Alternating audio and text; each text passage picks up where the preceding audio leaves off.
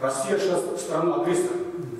А, допустим, я не хочу, я думаю, меня поддержат многие. Я не хочу, чтобы Россия вложила инвестиции в завод. Я понимаю, что завод развивался, ну пускай развивается, но, но не за счет России, инвестиций России, не, не за счет инвестиций Ирана, Северной Кореи. Ну, есть такое понятие ОСКЛА. Из 31 членов э, областного общественного совета сегодня на заседании принимают участие 21. Ведь этот наш завод, «Зенит», его перевезли из Ленинграда под кодом 38.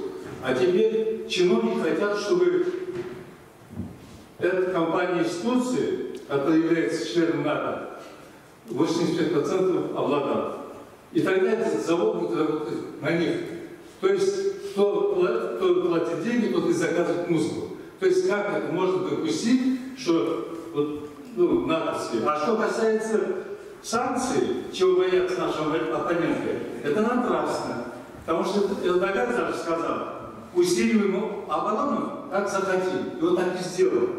И вооружается теперь российский СРК С-400 вместо американской системы ПВО «Патриот». Поэтому вы все знаете, что Турция является членом НАТО, и лучше предпочли давать другим.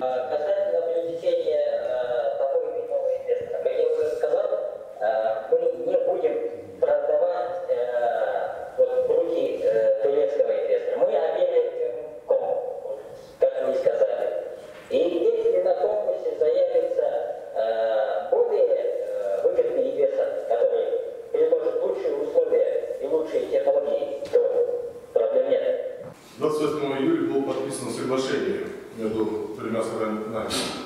Две турецкие строительные компании и государственная военная корпорация. И акционерное общество «Зенит».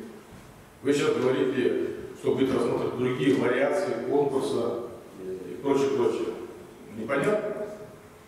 11 числа вы заводе заявили, что э, на встрече с заводчанами, что будет создана такая кооперация, при которой завод «Сябель» будет загружен по профилю, действующему профилю. Тут возникает вопрос.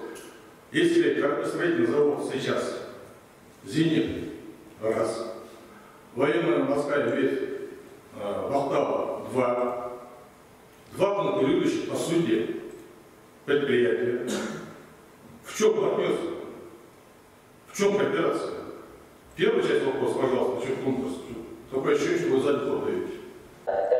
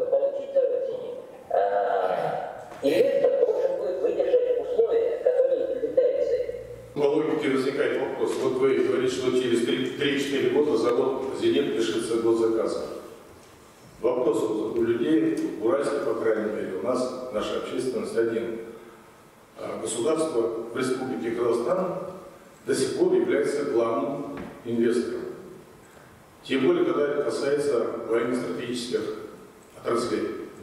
«Зенит» входит в Казахстан-инженерия. Также, соответственно, вопрос, что мешает нашему государству обеспечить долгосрочный оборонный заказ по сохранившему еще военному профилю завода «Зенит». Допустим, за ГНК, вы знаете, он перепрофилировался, конверсия произошла в начале нулевых он на ногах стоит. А Мегас закрылась при просто который тоже относился к ВПК. Вся судьба вопроса о единственном военном предприятии заводу «Зенит». Что мешает государству инвестировать в военную отрасль? По ЗКМК я с вами не соглашусь. ЗКМК это тоже оборонное предприятие, успешно функционирует, а, успешно производит свою продукцию, в том числе э, как бы, большой интерес э, к нему в плане экспорта. А, И э, что касается загрузки зенита, понятное дело, государство будет всегда э, обеспечить его там минимальной какой-то загрузкой, чтобы он существовал. Но вы же не можете э, постоянно диктовать тем же заказчикам, это вот вооруженные силы, да, погранслужба, комитета нацбезопасности, Мое мнение, по крайней мере, которое я высказываю публично в отношении данной темы. А, Еще раз, вот вашими устами говорит э, свободная рыночность. А, Я говорил еще раз о том, что есть, никто не отменял государственное регулирование и, соответственно, механизм рыночного саморегулирования. Тем более сейчас с нового руководства республики институт и государственное регулирование, наоборот, усиливается. Мы это поддерживаемся. Соответственно, видение наше, вот мое личное, что не рыночный механизм поиска хорошего, доброго инвестора, вкачивания военной отрасли, а сохранение стопроцентной монополии государства в этой сфере, естественно, модернизация за счет средств государства, расширение производственной линейки, расширение того, он мог не зацикливать сейчас на кораблестроительных делах. Срок вверх, пожалуйста, там, в октаву. Загрузить наш завод.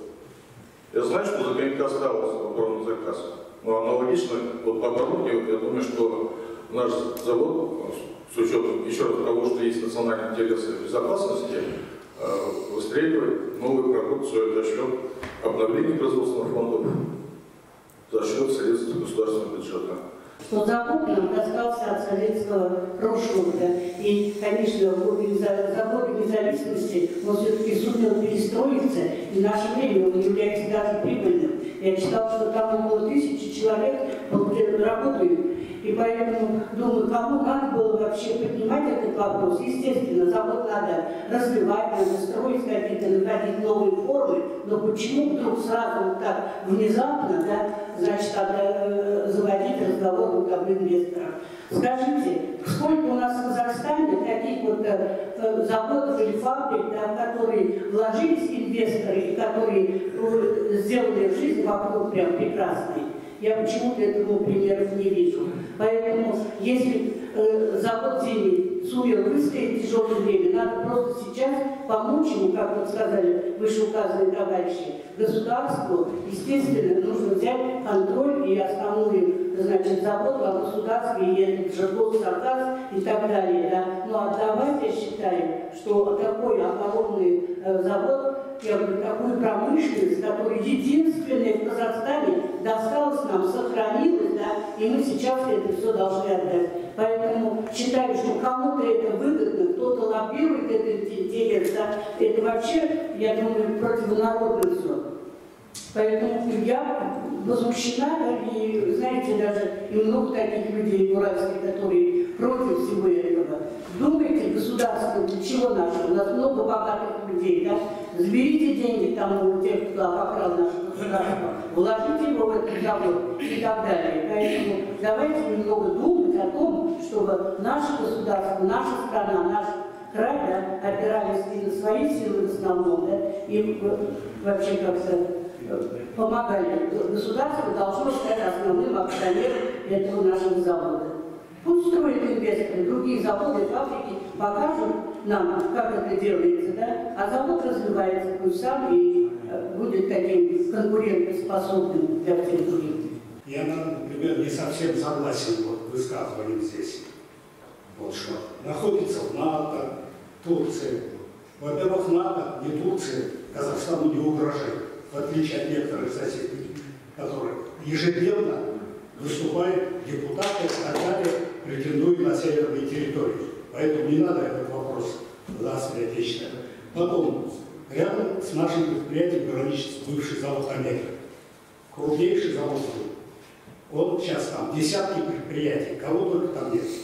Я просто боюсь, что судьбу Амеги разделит и завод «Зенит».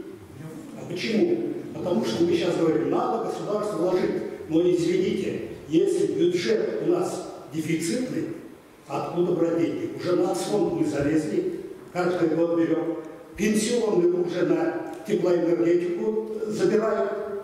Извините, а где деньги? Мы так, такими методами придем, что через 2-3 года действительно ни заказов не будет, и завод «Зенит» постигнет судьба завода «Омеги», который разорвется, или торговый центр откроют и так далее. Вот, я еще хочу сказать, в советское время, я знаю, завод «Зенит» выпускал много для населения, товары народного потребления. Почему-то сейчас ничего нет. Почему они не диверсифицируют свое производство? Вот сейчас лопатой на производстве формовщики работают, я произвожу железобетонные изделия. Лопаты китайские, они через две недели выходят из строя. Почему мы не можем лопаты делать? К примеру, приведу пример. Несколько лет назад у меня стоит линия импортная. Там матрица, выпускаем стеновые камни. Она изнашивается. Мы решили заказать на том же заводе «Зенит». Всех объехали, попросили. Они нам все мы можем там элементарно нарубил листы, сварил, точно там до миллиметра и все. Да, мы можем. Но цену назвали, я чуть не упал, я за такую цену три привезу из-за границы, что так и сделал. Вот просто надо еще мое мнение послушать коллектив сам. А если коллектив через 3-4 года без работы тысяч человек останется, кто будет отвечать потом? Вот о чем надо подходить. И надо подходить с точки зрения выгоды государству. Если на Каспии там верх строит, там надо и строить рядом на воде, и ремонтировать там. А вот правильно говорили, Урал даже вот милее. Наши там депутаты ездили в Оренбург, там, спасение Урала, но он и милеет, и милеет. Никаких нет, он опускает. Завтра действительно сплавлять нечего будет, тогда что будет делать? Я считаю, что сейчас во всем мире кооперация идет, выпускают кооперируются. Везде во всем мире кооперация. Почему мы боимся? Этот завод турки не разберут, не увезут. Земля в Казахстане, сети наши, вода, свет, электроэнергия, все же наше. Если такие условия поставить, действительно вложений будет, коллектив-то не будет страдать. Почему? Вот мы боимся этого. Разрешите представить, генеральный директор завода «Зенит» Муканов Хаджан Ракович. Значит, на должности начальника генерального директора был назначен в текущем году, в апреле текущего года. Уже девятый месяц сказать, данную должность. Э, здесь вот сейчас поднимались очень, ну, скажем так, животрепещущие вопросы, и мнения разделились. Вот. Но я хотел бы высказать не только как человек, который только пришел. Э, кстати говоря, хочу сказать, что я сам офицер, капитан первого ранга запаса, пошел должность первого заместителя главнокомандующего военно-морскими силами. Был командующий береговой охраны. То есть Каспий и силовую структуру я знаю изнутри. И не чужой человек для завода, почему? Потому что в ходе, так сказать, процессе исполнения своих воинских обязанностей я непосредственно контактировал с заводом «Зенит», непосредственно принимал эти корабли, которые сегодня эксплуатируются очень даже удачно. Поэтому трудности сегодня завод существует. Это перспектива. О трудностях я говорю. И то, что сейчас вице-министр выступил, он э, ответил практически на все вопросы. Давайте более детально. Значит, да, на сегодняшний день завод «Зенит» выпустил 34 корабля и катеров за эти 30 лет. Эти корабли катера не используются, к счастью. Но их э, боевые качества на сегодняшний день не удовлетворяют силовые структуры, особенно военно-морские силы и береговую охрану. Нужны новые технологии, нужно новое вооружение. А, к сожалению, завод на сегодняшний день этих моментов не имеет, к сожалению. Поэтому мы вынуждены э, контактировать и взаимодействовать э, с теми, э, скажем так, государствами, которые имеют новую технологию. А то, что там это будет Турция будет или еще какая-то страна, дело не в этом.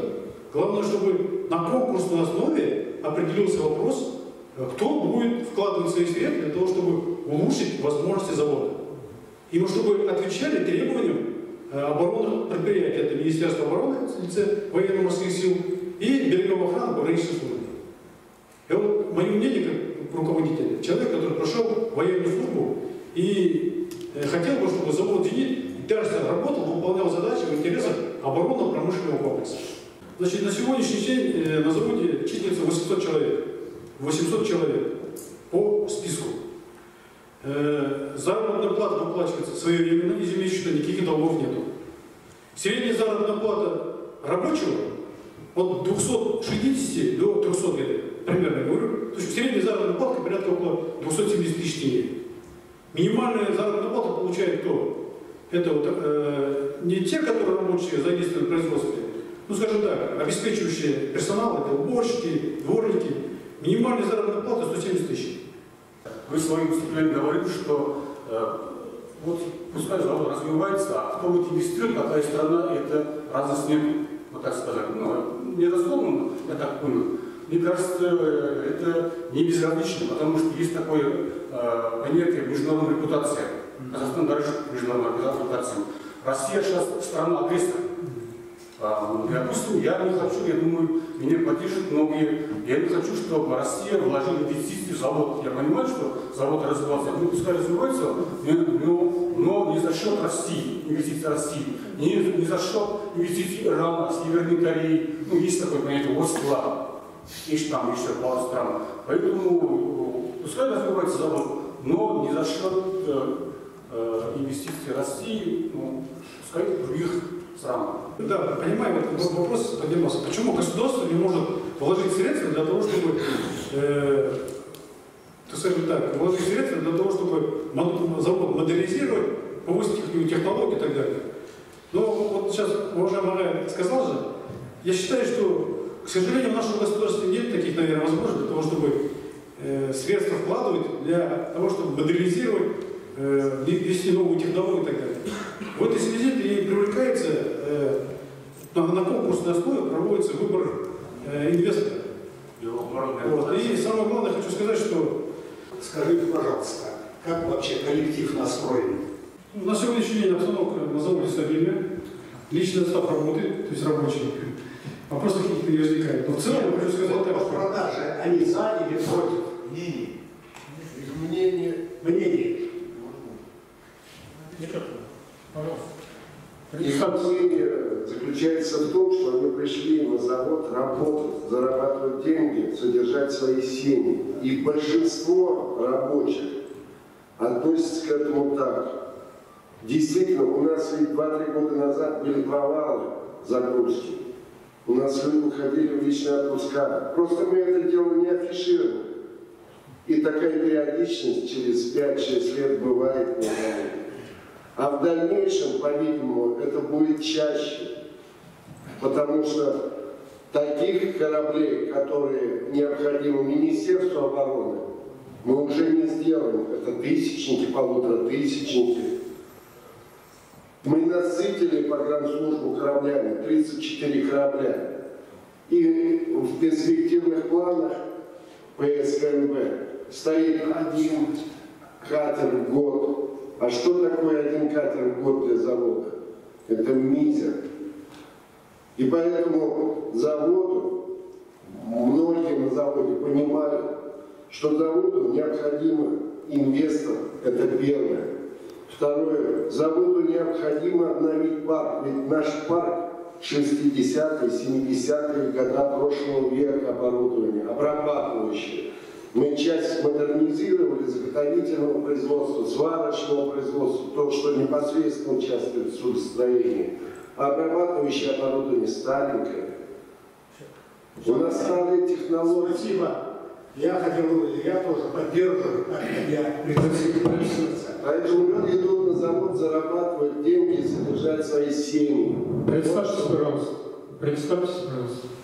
Замдиректора завода «Зенит» по производству Хватилин Виктор Евгеньевич. Спасибо.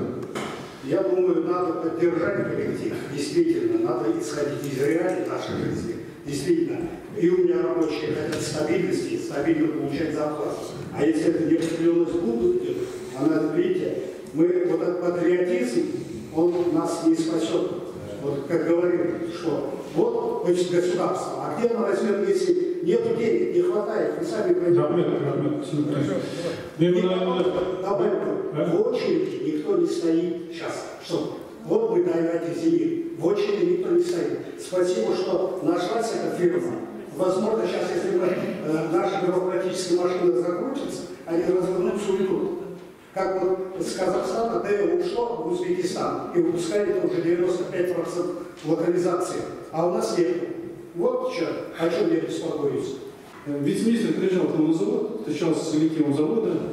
Вот те слова, которые сейчас он говорил, он сейчас повторяет. Э, И я хотел бы еще один момент э, озвучить, да, вот мнение завода, касающееся э, дальнейшей сказать, э, деятельности. Мы сказали так, завод э, э, на сегодняшний день выдвинул следующие требования. Сохранение специализации завода в области кораблестроения. Это первое. Второе. Сохранение организационной штатной структуры завода. Второе. Третье. Недопущение сокращения штатов. Вложение инвестиций в модернизацию завода и новые технологии. Не исключать завод из реестра исполнителей государственного оборонного заказа. Как единственный завод в Казахстане имеет огромный опыт именно в кораблестроении. Э, Решение социальных вопросов для молодых специалистов. Если вот эти основные все вопросы будут выполняться, я думаю, что будущего завода будет. Сейчас заместитель ваш говорит о том, что 3-4 малотоннажных котировок для Красноярска. Ну, все понимают, все, тема закрыта. Первый стратегический задач, который вы сейчас озвучиваете, да, использовать производство мышечного завода для той веры. Ни от вице-министра, ни от вас я не слышу, чем конкретно, какими. Это же не секрет. А, заказы будет обеспечен для той верфи а, наш завод. Поскольку они не только военные стратегически, они собираются. Ну, Кирас строит, я так понял, ну, прочие гражданскую просто. В чем будет участие завода «Зенит»? Конкретнее можно, потому что все около, около, Может, детально сейчас я вам доложу. Более детально сейчас доложу.